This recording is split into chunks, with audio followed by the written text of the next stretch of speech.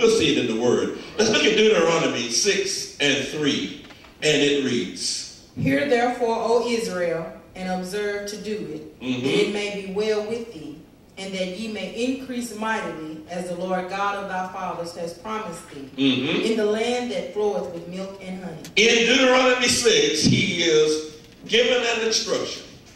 He says to observe to do it.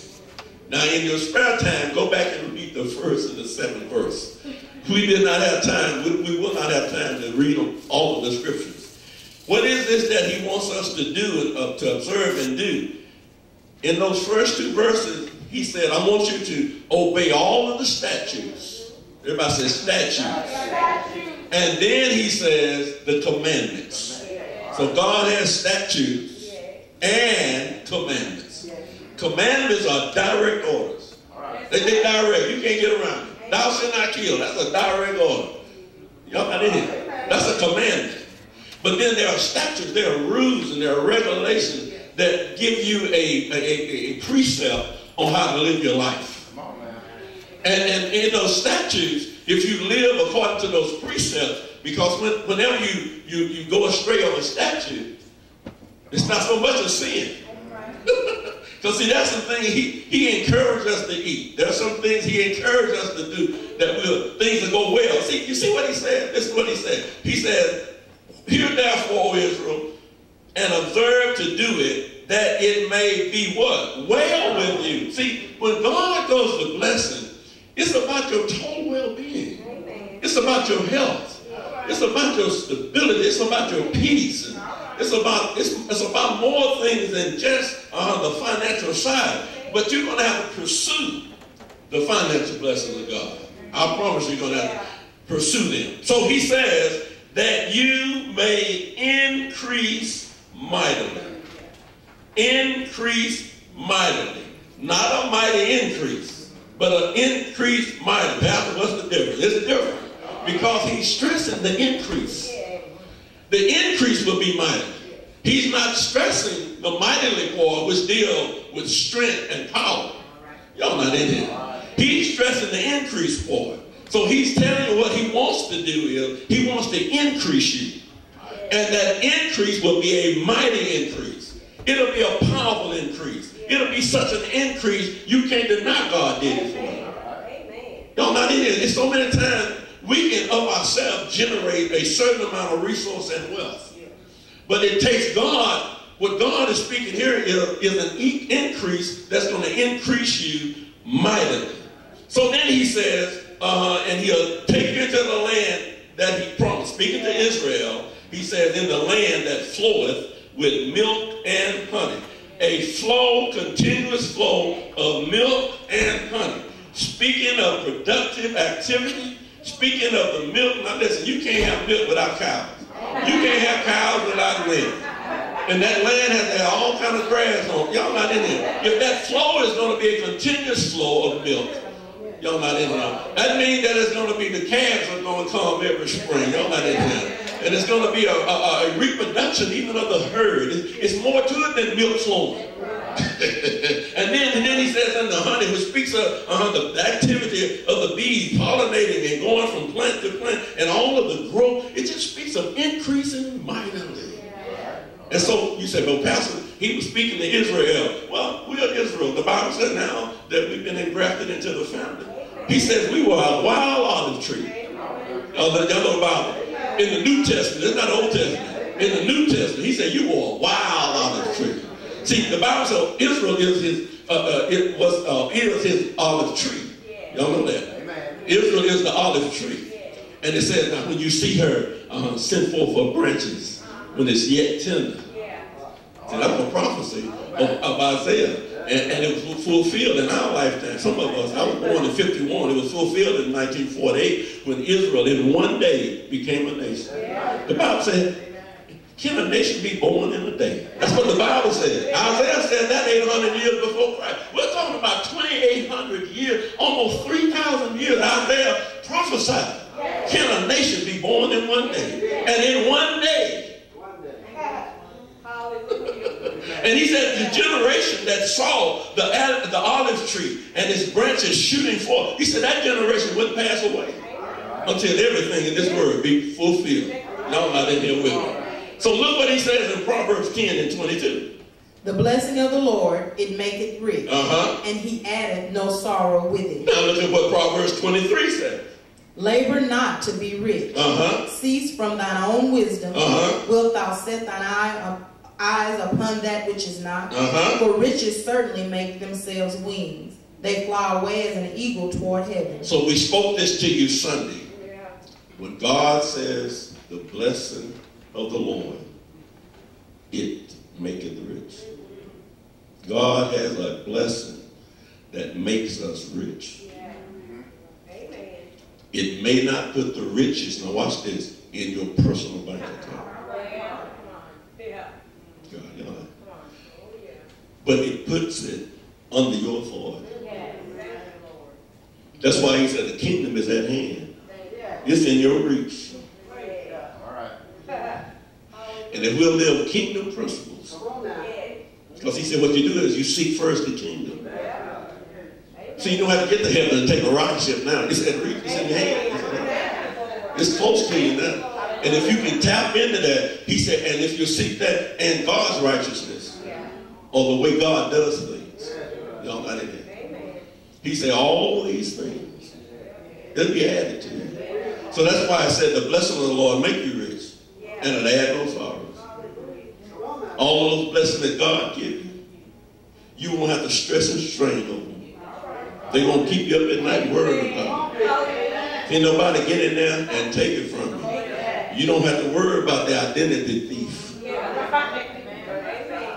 Because uh, what Proverbs 23 is saying. watch what it's saying. It's saying that don't labor be rich. Uh, uh, he said, and cease from your own wisdom. In other words, there is a wisdom, uh, earthly wisdom that can get riches. The mob is rich. Yeah. The gangster is rich. Yeah. But it's sorrow with it. Yeah. They can't enjoy it.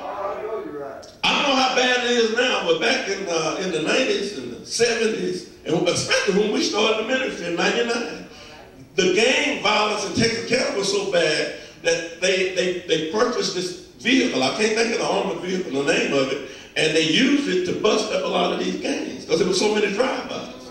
Y'all not in here. And people couldn't sit, the, I'm talking about drug dealers now, they couldn't sit on their sofa. They had to sit on the floor. So y'all not in here. They were doing drive-bys. And they can't enjoy it. Sorrow added with it. I was watching Denzel in the movie, The American Gangster. I don't know if y'all seen that movie. Didn't look at that movie. That's a, that's off a true story. A black man uh-huh, had uh, was making hundreds of millions of dollars uh, in in in, in uh, and he was they, they, they said it was so unusual because the mafia uh, was working all around him and it never had been seen like that before that a black man could work with the judges and the police and the lawyers and the, the judicial system and pay this one off and pay that one off. But it had sorrow with it. And ended up 30 members of his family ended up going to prison. And then he got 70 years himself. But then because he cooperated with the government, they got him out in about 15. So see, the riches that men can come up with, it adds sorrow. But God said, the riches that I'll add to you, there'll be no sorrows added. So what he says is that riches are, they, they, can take wings and they can fly away. They can fly toward heaven. They just leave you.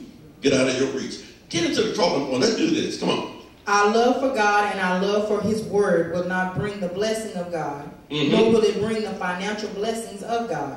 It's what we focus on that will grow in our lives. Come on. It is what we give attention to that will attract that thing to us. Come on. I believe we need, as a part of our focus, the financial blessings of God. The financial anointing and blessing has to become important to you and be a part of your focus, both personally and corporately. Okay, we're going to have to make it important to us and corporately. If you're living well and you're doing good, you need to be concerned about the group.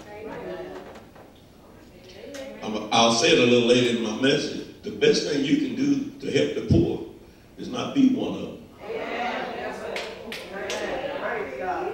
How can you help somebody? The best thing you can do for the addict or the person that's bound with some burden is to not have that burden. I wish I was in here with somebody else other than myself. Y'all hear what I'm saying? We want to help people. We want to help situations. We want to help poor. We want to help those that have whatever. We want to help the orphan. We want to help them all. But we have to be blessed to do these things. And we can't shy away from that. And we can't dress like we broke. Missionaries back in the day, some of them would dress poor to try to get sympathy. Because they felt like they showed up and wore nice clothing, people would think that they didn't need money for their missionary journeys. That's the truth. They wouldn't have their rings on nor their watches.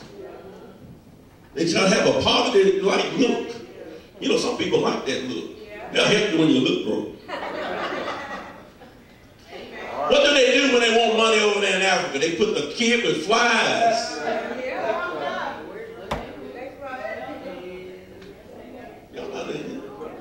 They'll show cattle that's so thin and they're about to fall over. Yeah.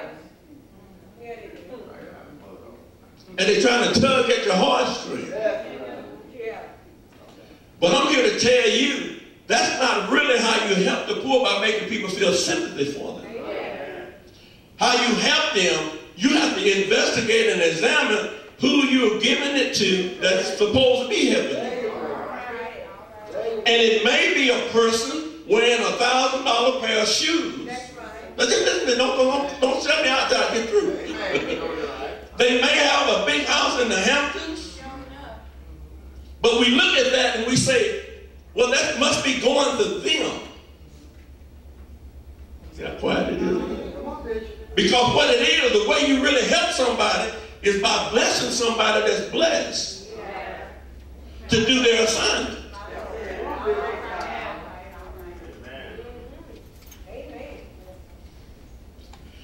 They say about 20% of the money is given to those starving folks in Africa.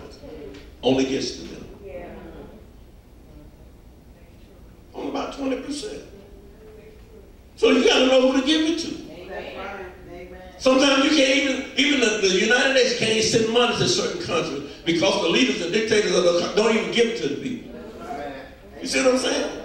So the best way to help the poor and help the impoverished, you got to find out who you are giving this stuff to to see that they're being a good steward of it. I don't want to get ahead of myself. Come on, read it. Every scripture must be put into context. Mm-hmm. One place God says, labor not to be rich. Yeah. That's why we must rightly divide the word of truth. Come on. So remember instructions are seasonal, they can be personal, customized, and they are for a time.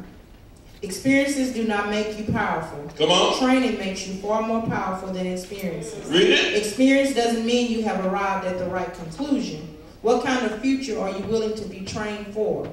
It is really important you get a picture of the future you believe God wants for you. We must embrace what the Bible teaches about the financial blessings of the Lord because I am seeing so many people's dreams fail. We first need to ask what I am doing wrong, what do I need to correct in my life, and what can I do a little bit better. Seek first the kingdom of God because you can have financial accumulation but not have financial peace. And that's what's happening. People are gathering to themselves financial accumulation. They've accumulated. They have multiple bank accounts. They have assets, but they do not have financial peace. And I want you to have financial peace. If you have financial peace, according to Deuteronomy 6, he said it can go well with you if you observe the statutes and the commandments. You cannot, you cannot be blessed of God and working in his financial system and not be living according to his rules. Read what happened. Financial blessings make it possible to properly provide for your family. Here's the first and the most important reason for you to tap into the financial blessings of God, his financial system, so you can properly provide for your family.